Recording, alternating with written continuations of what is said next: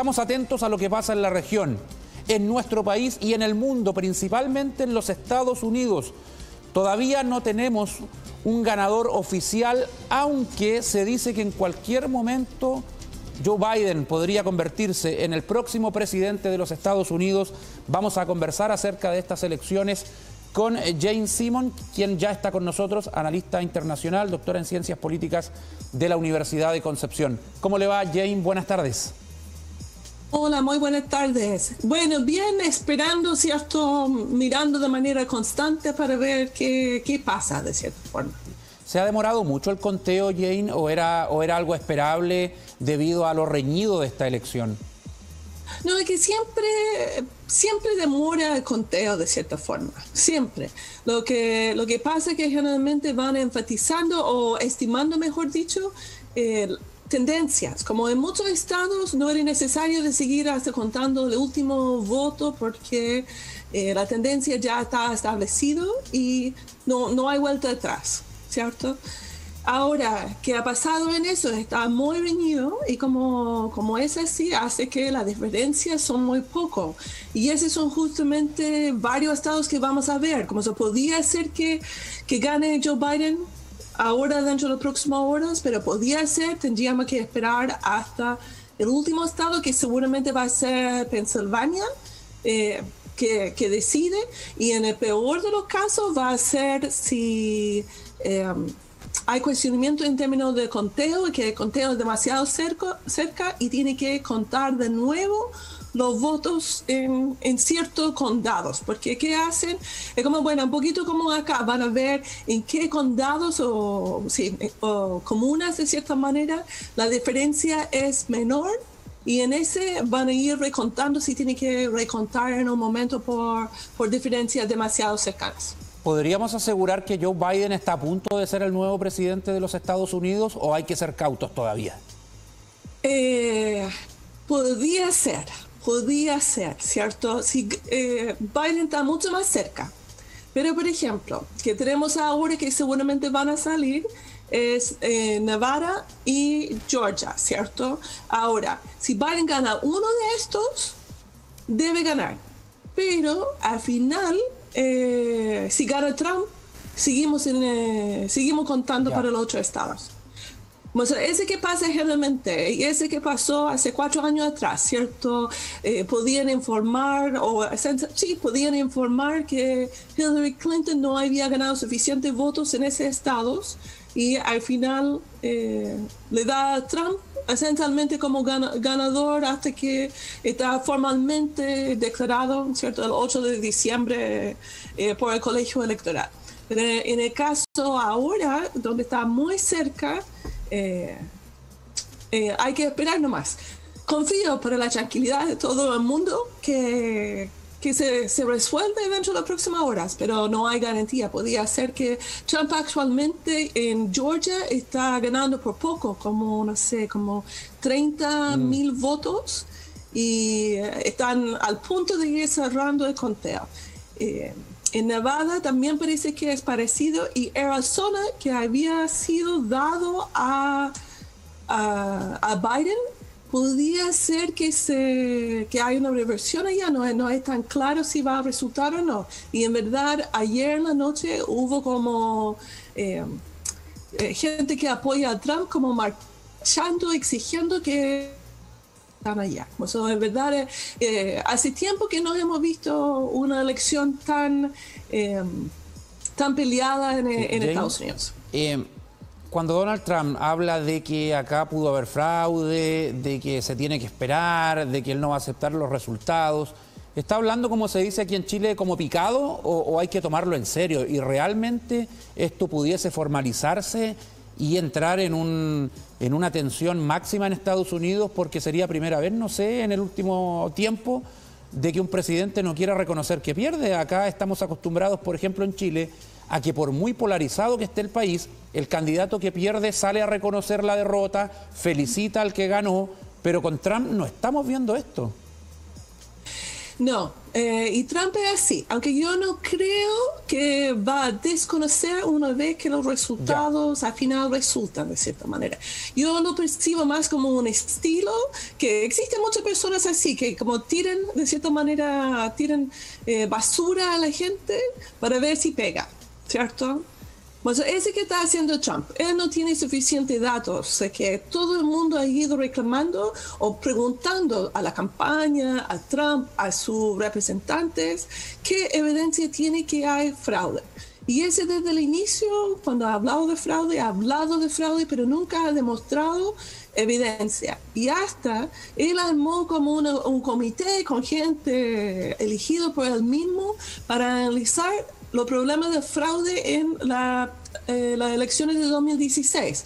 No en relación a él, sino en relación a cómo podía ser que Hillary Clinton había ganado el voto popular. Siento que tiene que haber fraude. Y ese fraude seguramente era inmigrantes, o sí, inmigrantes irregulares que habían venido de México, de cierta forma. Eso, él va tirando eso para ir generando de confianza en el sistema, pero al final, una vez que resulta y es el perdedor, yo creo que ese es como se va a desaparecer. Y en general todos los expertos republicanos en, derecho electoral han dicho que no hay evidencia que han habido fraude, en verdad ha sido un, proceso eh, bastante transparente transparente, abierto. Yo destaco que, por ejemplo, en Arizona, donde están actualmente contando los votos, uno puede meter en internet y ver las mismas cámaras que están eh, mm. filmando en todos los lugares donde están contando los votos para para asegurar que es público, transparente si uno quiere y también tener registro. Joe Biden eh, ha batido récord de votos como candidato demócrata, incluso superando a Barack Obama, corríjame usted. Eh, ¿Eso es porque el norteamericano le convence su plan de gobierno o es como o es el apoyo para derribar a un Donald Trump? Diría son las dos cosas, ¿cierto? Es que se plantea claramente dos visiones diferentes del mundo. Hay que pensar, ayer, ¿cierto? Eh, se generó oficialmente la, el retiro de Estados Unidos del Acuerdo de París. Bueno, eso, esa es una posición que está, posición de política pública, de medio ambiente, muy distinta a la posición que tiene Trump. Y ese se repite en una serie de temas asociados con el reconocimiento de derechos, por ejemplo, el derecho a la, a la diversidad sexual, el derecho al aborto. Hay una serie de temas salud pública, apoyo, como eso, eh, el mismo tema de ir apoyando más a los trabajadores, por ejemplo, durante COVID-19 podemos pensar en muchos de los, eh, los debates que tenemos en Chile en cómo ir abordando el COVID-19 y son diferencias políticas bastante importantes en relación a, por ejemplo, que están discutiendo ahora el segundo retiro de la AFP. Como son temas así, como Trump tiene una posición bastante, bastante clara, aunque hay ciertas incoherencias en su posición, y Biden también tiene una posición bastante clara también, aunque no todo el mundo que apoya, apoya completamente la idea de como políticas sociales más fuertes, pero Biden ha ido estableciendo su posición y eh, y su compromiso de ir trabajando con los distintos estados para ir generando una respuesta que permite abordar la economía y el COVID-19 al mismo tiempo. Ahora, igual lo que votaron por Trump piensa que Trump va a hacer un mejor trabajo. eso también está asociado con la percepción que uno tiene de, de, la misma figura y que han marcado mucho los analistas en Estados Unidos es la diferencia eh, que la diferencia se debe principalmente a una identidad republicana versus una identidad demócrata. Eh, eh, está muy marcado. Ahora, la apuesta de Donald Trump es como un caso único, fue muy arriesgada. De perder la elección, estaríamos hablando de uno de los presidentes más mediocres que ha tenido Estados Unidos en el último tiempo. Sus antecesores, sus antecesores gobernaron dos periodos. El pueblo americano los premió con ocho años de gestión. Trump alcanzaría cuatro, eh, sacó a Estados Unidos del dominio mundial, cedió ante China, eh, retiró tropas, eh, sacó recursos de la OTAN y de ocho, de ocho organizaciones internacionales donde Estados Unidos ya con eso perdió dominio. es como, es como querer transformar el ADN del norteamericano, Jane. Yo no sé si otros presidentes en el pasado han tomado decisiones similares porque incluso Barack Obama, que estuvo nominado a un premio Nobel, invadió Siria.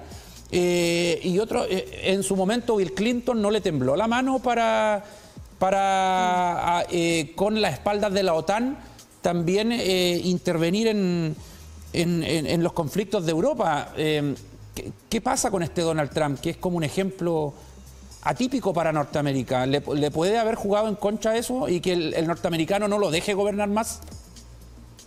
yo diría claramente es atípico para, para el sistema norteamericano, pero justamente por eso ganó, ¿cierto? Eh, eh, yo diría, hay una tensión, ¿cierto?, en Estados Unidos en relación a qué debe ser el rol que juega eh, los Estados Unidos en la política en otro continente, ¿cierto? Y ese tiene impacto especialmente en las personas, en la tropa, ¿cierto? Igual como Chile tenemos militares que son voluntarios ahora, pero si uno piensa, por ejemplo, en la época de Nixon, no era así, sino eran eh, obligados de ir a la guerra, de cierta manera. Y en, en ese contexto, yo diría que uno podría plantear, no es que quiero defender a Trump, pero uno podría decir que Trump va respondiendo a la demanda de, de la sociedad de preocuparse de, de, los sectores rurales. Es que en verdad que hay, hay varios factores que, o sí, varios factores que podría explicar, pero que más llama la atención y es bastante claro cuando uno va analizando, más allá de los estados, el voto demócrata está en las ciudades, y el voto republicano en los campos, ¿cierto? Eh, y eso eh, es importante, eso dice esencialmente que quedan afuera. Y es un ejemplo atípico también de representante republicano, porque si uno lo compara con George Bush, padre, George Bush, hijo, eh, mm. es totalmente diferente Donald Trump. No le importa lo que pasa fuera de las fronteras de Norteamérica, sino que más que nada la política interna. Sí, no, definitivamente. Y si acá no se dio tanta, tanta publicidad, pero en Estados Unidos en los últimos eh, dos semanas de la campaña iba surgiendo eh, muchas voces republicanas eh, asociadas mucho más con con el legado Bush, de cierta manera, especialmente Bush padre, ¿cierto? De eh, gente joven del equipo de Dick Cheney que se va planteando una posición eh, en contra de Trump y que esencialmente son republicanos para Biden. Ahora, eh, en, ese, en ese contexto hace muy interesante lo que pasó en Texas, ¿cierto? Texas es la primera vez que en hace mucho, mucho tiempo, yo diría desde que Bush padre se transformó en una figura tan importante del Partido Republicano, que Texas eh, se transformó en un estado importante para los republicanos. Porque no sé si quizás los chilenos no necesariamente saben, pero eh, Lyndon Johnson, ¿cierto? Que fue vicepresidente, que asumió como presidente cuando mataron a John F. Kennedy, era de Texas. Como eso, y él controlaba ese estado. Como eso antes, en la década de 60, era muy demócrata. Y en el tiempo se ha ido poniendo republicano. Y el hecho que se vuelve a poner demócrata, yo diría es solamente temporal y que los republicanos, es decir, gana Biden. Eh, y los republicanos como más tradicionales, ideológicos del estilo de Bush, van a volver a, a, ponerse a cargo, de, a cargo del Estado e ir rearmando el Partido Republicano. Muchas gracias, Jane Simon. Eh, evidentemente nos gustaría avanzar en más temáticas, pero no, no sabemos todavía el resultado. Seguramente vamos a conversar nuevamente cuando ya tengamos a un ganador y eh, podamos conversar acerca del futuro de Estados Unidos con ese nuevo presidente. Solamente de invitar que las personas pongan atención hoy día. Eh, si que están mirando en vivo, podríamos tener resultados dentro de las próximas horas en Georgia y Nevada. Y, y, quizás Pensilvania seguramente mañana. Como eso, eh, deberíamos tener al menos una idea de lo que está pasando dentro de las próximas 24 horas. Estaremos pendientes. Gracias, Jane. Muchas gracias.